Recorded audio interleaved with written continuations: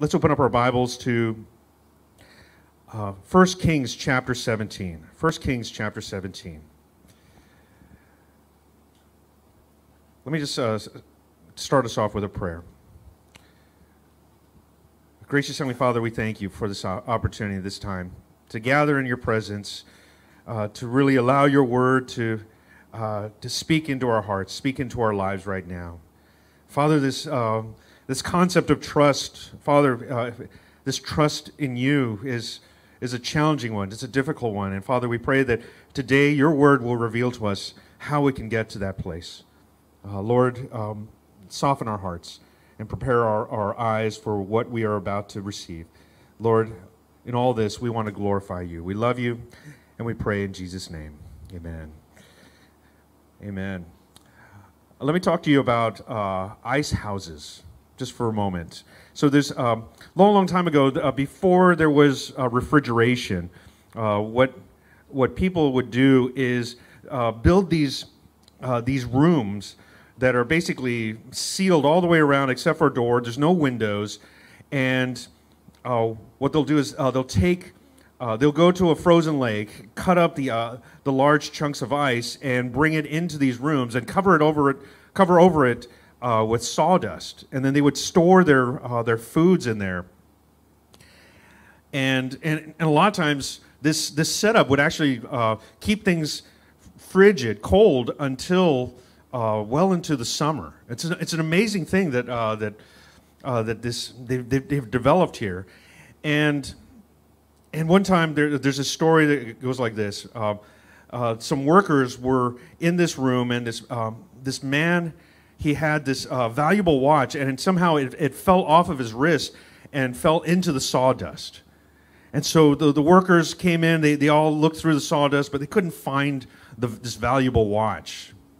And so a little boy comes over, and uh, and he, um, you know, after the workers come out and they're uh, they're they're scratching their heads, they're uh, pretty much resigned in uh, to to trying to find this watch. This little boy goes into the room, closes the door, and after, after a few moments, emerges from the room with the watch. And everybody looks, uh, uh, looks at this boy and they, they, they ask him, How did you do it? How did you do it?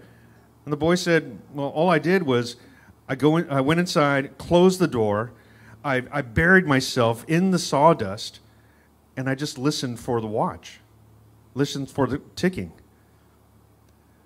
And sometimes, uh, I mean, that, that story reminds me of how how do we listen for God? How do we listen for God? We sometimes go to the to the farthest of places thinking, I want to hear from God over here. I want uh, we go on retreats and, and we, we go to these far off places thinking, if I remove myself from all these things and if I go to this particular place or th- uh, have this particular time with the Lord, then I will hear from God.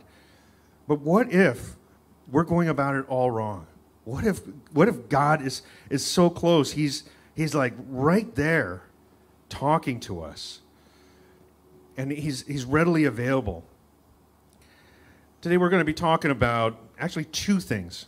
Hearing from God and trusting in God. Hearing from God and trusting for God. I mean, obviously, uh, if you don't hear from God, there's you don't know what to trust in in God for.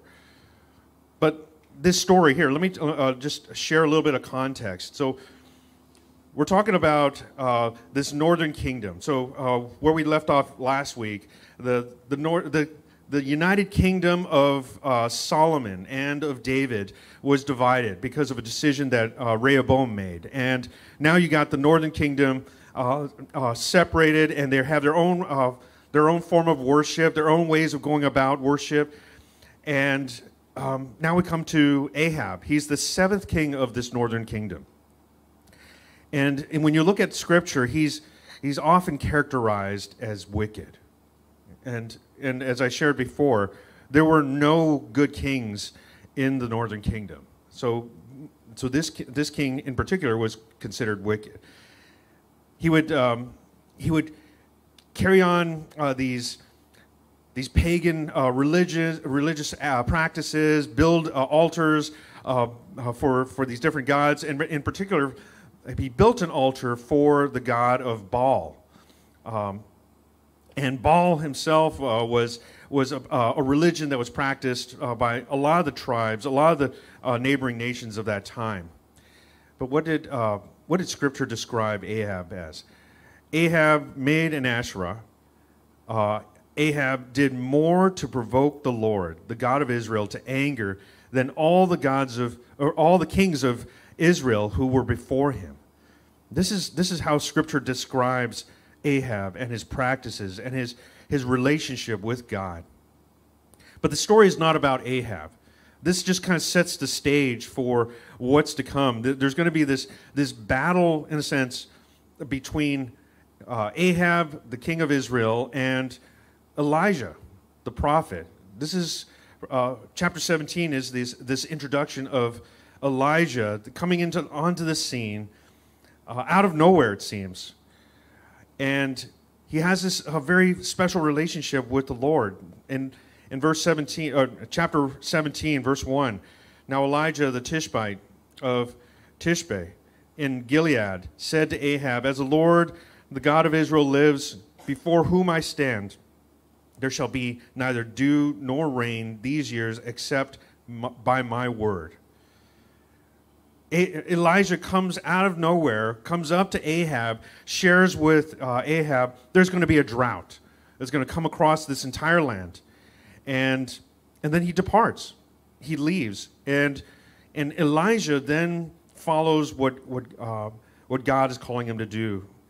Verse 2 And the word of the Lord came to him, Elijah Depart from here and turn eastward and hide yourself by the brook, uh, by the brook Cherith which is east of the Jordan. You shall drink from the brook, and I have commanded the ravens to feed you there. So it goes to basically the, the eastmost part of the kingdom and hides out in this, this wooded area, and God would provide for him water, food, he's taken care of there. And, uh, and we see that th- he would continue to live there for, uh, for a period of time. We're not sure exactly how long. And then the word of the Lord came to Elijah once again. Cha- uh, chapter 17, verse 8. Then the word of the Lord came to him Arise, go to Zarephath, which belongs to Sidon, and dwell there. Behold, I have commanded a widow there to feed you. So he arose and went to Zarephath.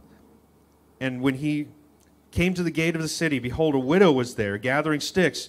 And he called to her and said, Bring me a little water and in a vessel that I may drink. And she said, uh, and as she was going to bring it, he called to her and said, Bring me a morsel of bread in your hand.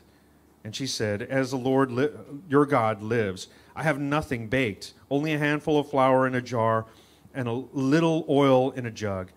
And now I'm gathering a couple of, couple of sticks that I may go in and prepare it for myself and my son, that we may eat it, and die. Do you see what's going on? There's this uh, drought that has come across the entire land. The people themselves are, are experiencing this, this desperation. This, this particular widow eh, has nothing left, basically, other than to look forward to die. You've got a situation, a very desperate situation, and then out of out of the blue, a man comes over and he says, "Give me a drink. Give me give me a little morsel in your hand." And she's like, "I got nothing."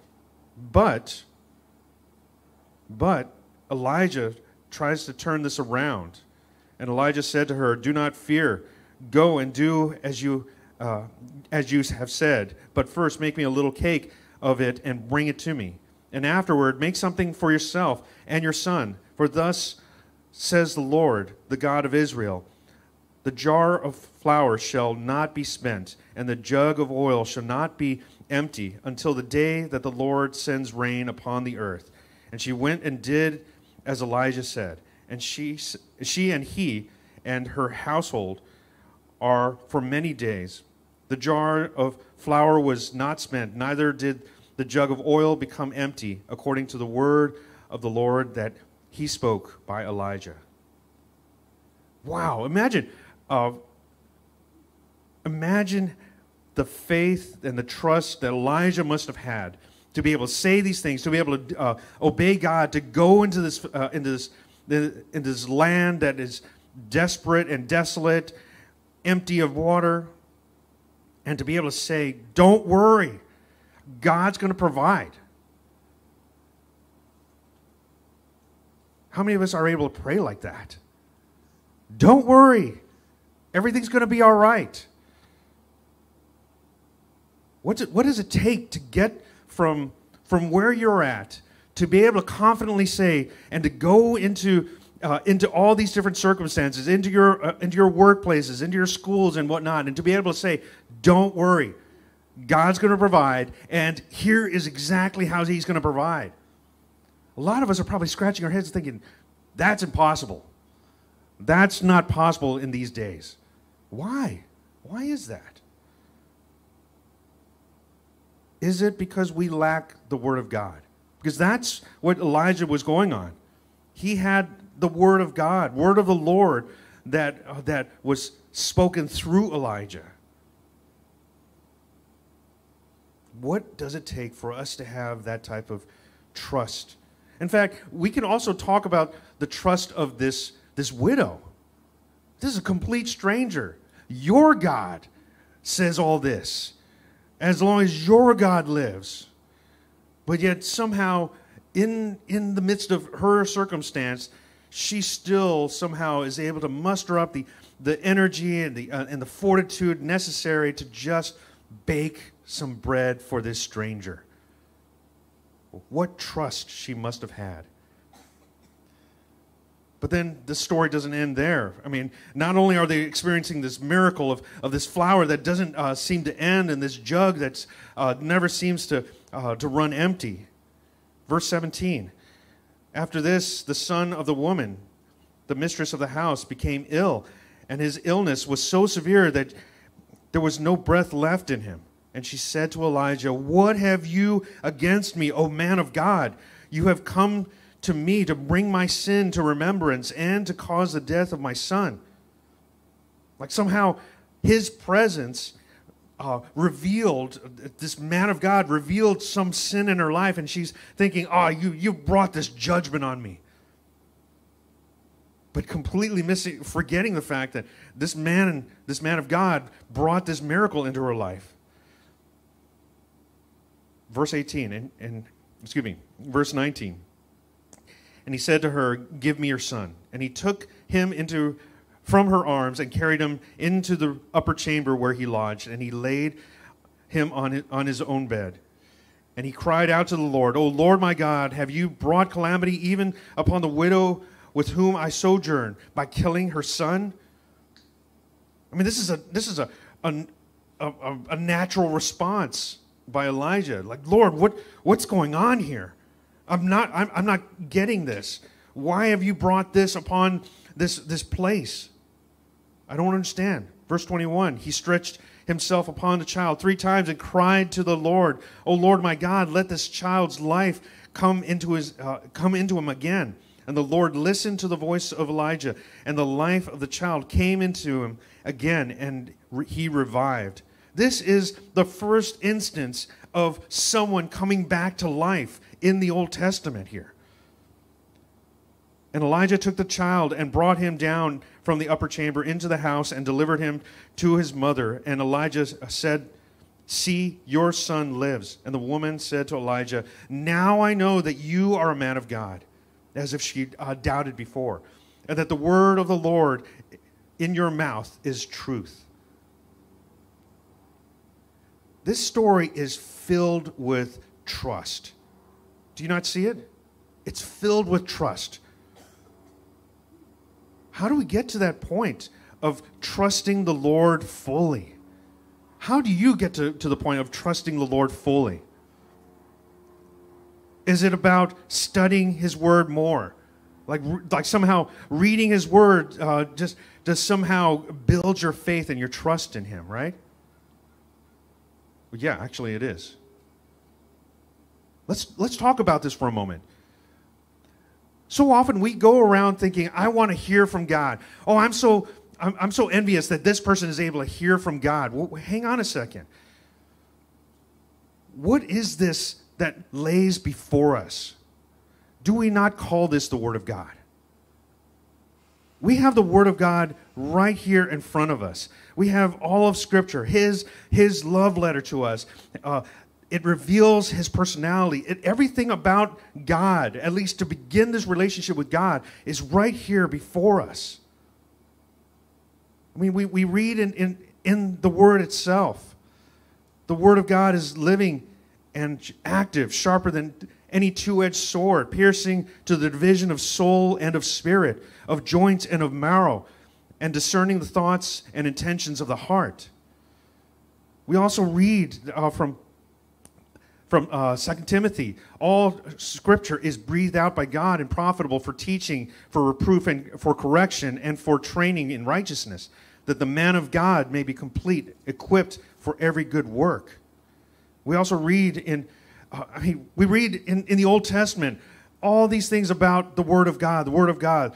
Your Word is a lamp to my feet, a light to my path. We also read about how the Word is forever. The grass withers and, and flower fades, but the Word of God, our God will stand forever. We're, we may be looking in the wrong places for the Word of God when it's right here in front of us. It's right here. Where, where else do we need to go? Do you trust in everything that is being spoken of in here? Do you trust God in everything that He has spoken of in here? I can't tell you how many times I have had conversations with, with men, and I've asked them, Are you ready to be discipled? Are you ready to disciple another? No. And in the back of my mind, I'm, th- I'm thinking, have you not read the Word of God? This is what He's calling us to do. You taking the Word of God and, and throwing it to one side, saying, for, for whatever reason, like I'm not, I'm not qualified to, to disciple. No, it's not about you being qualified to disciple. You are commanded to disciple. Matthew chapter 28, what does it say? We're called to go and make disciples of all nations. And yet, there are, there are men and women who are saying, No, I, I'm not ready to be discipled.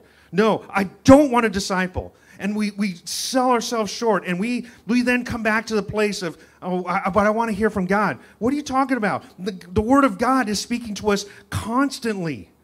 It's right here, right in front of us. And, and if we can't hear his word right here and obey his word, what makes you think he's going to speak to you directly in this through through uh, this through his special voice? If we're not hearing him directly, if we're not if we're not looking at his word and obeying that, do we really need to go any further about hearing from God? It's like it's like me me and my kids when they were young and, and um and I and they know every morning every Sunday morning I'm, I'm going to be going to uh, I'm going to be going to church early because I need to be there. I don't want to miss a moment of worship. They know that of me it's made clear. But then for them to come to me and say on, on a Sunday morning where are we going dad? Like are you kidding me have you, have you, have you, not, uh, have you not known what I do every single Sunday? Are, are we going to have breakfast? You, you know the routine. I, have laid it out before you so clearly. Are, are, are we going to take the big car or the little car? What, what, are you talking about? You know, it, it, it, it and sometimes I have to wonder if God is like that with us. He gives us His word right here, this, this, this precious word, and He speaks to us. And and for us to say, how come I can't hear from God? How come I can't hear from God? Well, no. It's less about hearing from God. Now it's more about trusting in the Lord. Because we have His word right here. He calls us to, to love one another, He calls us to love Him. He calls us uh, to uh, to lay down our lives, to count the cost in what, uh, and understanding what it takes to be a disciple. It, he, he calls us to, to disciple one another. In Titus chapter 2, he calls the, the older to uh, mentor the younger. Are we obedient to that? Are we living that out at the very least? Because if not, we cannot expect God to speak to us in any other way if we don't, are not even obedient to, to the most basic of things, to the most fundamental of things. I mean, we talk about uh, men being the spiritual leaders of the home, right? That's, that's what I see in, in all of Scripture. In, in, in Ephesians chapter 5, and in, uh, in, in Titus chapter 2, we, um, in, in second, I mean, I've, I've been talking a lot about uh, second uh, Samuel chapter 23, the mighty men of God. We're, we're men, men. Just for a moment, men, we are called to be legendary.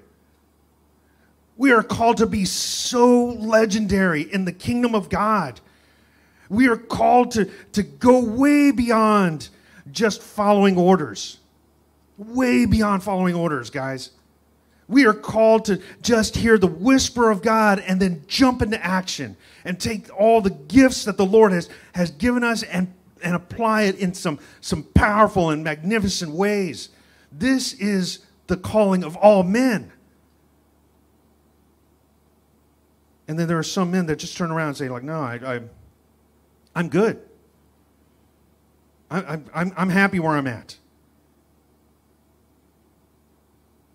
Men are called to, to love their wives, to lay down their lives for one another. Men, are you doing that? I mean, it, it, you don't have to hear from God an audible voice. It's written explicitly in the Word of God right in front of us. Are we being obedient to that? Okay? Uh, it, we to, we got to hear directly from God. Just looking at His Word. Start here. Trust in what He has to say. Then the next part. I, I, I call it following without logic. Following without logic. A lot of times uh, we will tend to look, I mean, if, if we see God saying this, God calling us to do this, our our postmodern mentality is to come forth and say, why? why? Why are we doing that? Is it not enough to recognize it is God saying this? I mean, I, I, I really appreciate uh, the armed forces, the, the, that military training, where uh, if, if a superior or commander or whatnot gives an order, the, the, the focus is we just follow through on that, on that command and that order especially in, in times of war and times of battle, you, you don't have time to think like, oh, you know what? Maybe we should turn left instead because I, I, uh, I think, I think this, this makes much. No. If the leader says, go right, we should be going right and not have to worry about does it make logical sense? No, it's just the fact that this is our leader calling us to do this. This is God, just merely God calling us to do this. Shouldn't that be enough? to just follow and obey. You know, we, we, we tend to, to take, take, the, uh, take the opposite approach and say, oh, I'm not qualified. I'm not skilled. I'm not, I'm not, I'm not ready to do that for whatever reason. But again, when you look at, look at the Word of God, what, is it, what do we see? God calls the least qualified people to do the most miraculous things. And if you're asking yourself, thinking to yourself, oh man, I'm not qualified, you are exactly the one that God is looking for. He's saying, like, I, I, I've been looking for someone just like you. Why, Lord? Okay, yeah, no, I shouldn't ask why. I'm just going to go. And, and that, that faith to just follow what God is calling us to do allows us to, to experience miraculous things. Look at, look at this passage, Luke chapter 6.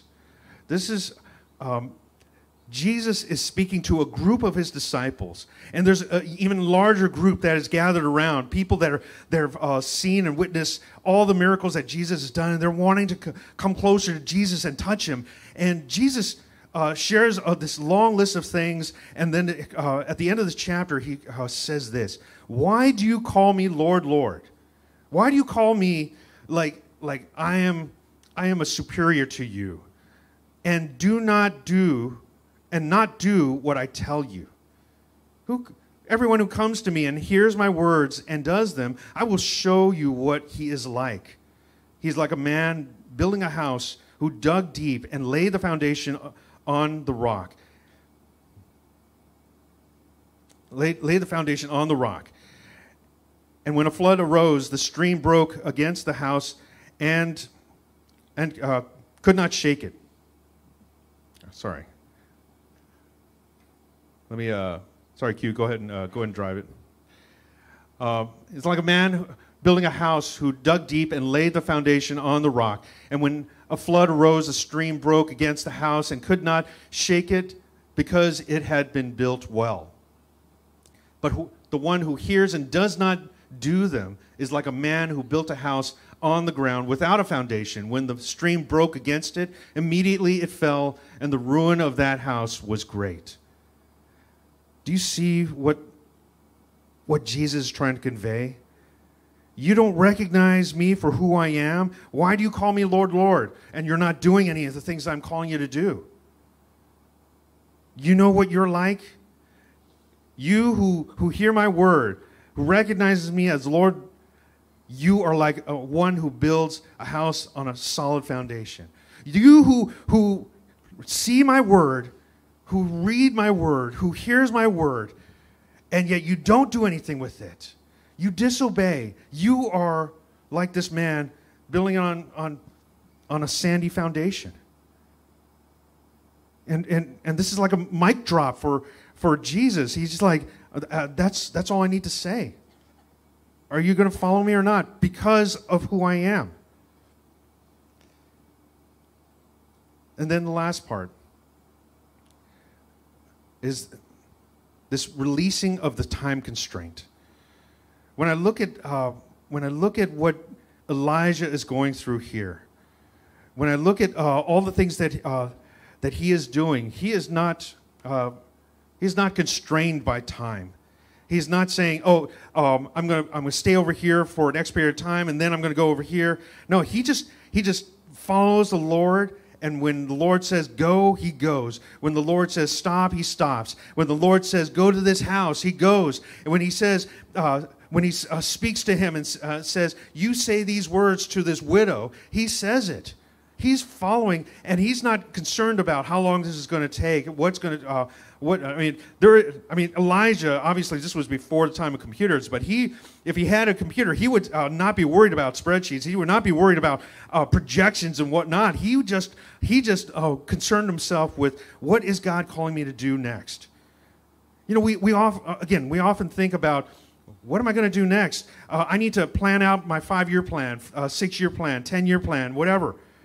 We need to uh, plan out our, our, our, retirement and all this. And when, when all, all the while, God is saying, don't worry about it. Have I not said I'm going to provide for you? Seek first the kingdom of God, and I will, uh, and all these things will what? Will be added unto you. Amen. You know, it, it's do we trust God? In what he says. I think for, for a lot of us, even, even more critical is are we able to go all the way back, all the way to the beginning, and recognize who is God in our lives? Who are you, Lord? What, what, what is it about you? And the beautiful thing about all of that, even that last question, is found in His Word, right?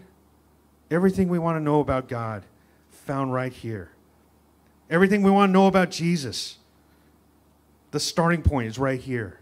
I've, ta- I've talked about who Jesus is, right? Oh, oh, for the last number of weeks, Jesus uh, would, uh, would, would say uh, in, in the book of John, he, would, uh, there, he has these seven I am statements, right?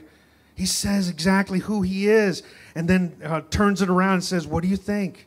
I am the bread of life. I am the light of the world. I am, uh, I am the gate. I am the uh, good shepherd. I, I am the way, the truth, and the life. No one comes to the Father except through me. Do you believe it? Do you trust in that? For some of us, we may need to start there. Look at the Word. Look at what the Word says about who God is, who Jesus is, and start there. And ask yourself Do I trust God? And if you're able to start there, then you can move on to the next part. Can you obey his word a little bit more each day? And that's my challenge to you. Take His Word.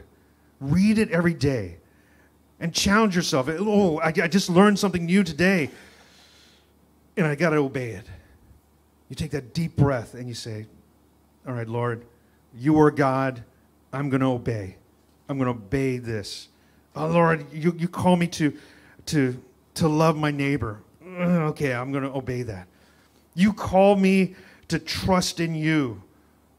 Okay, I'm going to obey that. A little bit at a time, one day at a time, a little bit of His Word each day. Let's come, come before the Lord in prayer. You know, as we bow our heads, I want to challenge you to, to really ask yourself what is it that keeps me from, from trusting God? Is it, is it doubt? Maybe we don't trust God because we don't know about, enough about Him. And if that's the case, then our prayer, I know exactly what our prayer is going to sound like. Lord, I need to know who you are. Teach me who you are. Remind me that you are the creator of the universe. Remind me that you are all powerful. That the power that was able to raise Jesus from the grave, that same power exists right in front of me. There's power in the name of Jesus in itself. Lord, remind me of the power of the Holy Spirit, how the Holy Spirit reveals, how the Holy Spirit empowers. For some of us, we need to go all the way back and begin with this relationship with God. Lord, I trust you. I trust you with all of my heart. And for some of us, we we do trust God. But now it's a hard situation where we need to surrender ourselves, surrender our abilities, surrender our pride, surrender our shame, and just come before the Lord and say, Yes, yes, Lord, I will obey. I see your word, I hear your word, and I will obey because I trust in you. Lord Heavenly Father, I lift up to you my brothers and sisters in person and on, online. And I pray that you will just help each and every one of us to grow in faith in you, to grow in that trust in you, to come to a point where every single thing that you tell us to do, you call us to do in Scripture, we will strive to live out in our lives on a day to day basis. Father, we recognize it's going to be a challenge.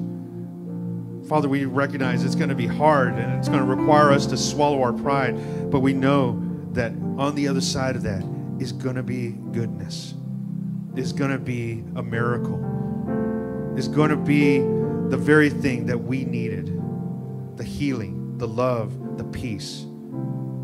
Lord, we recognize all that is found in you alone. Thank you, Lord, for this reminder of this trust. And we pray all these things in Jesus' name. Amen.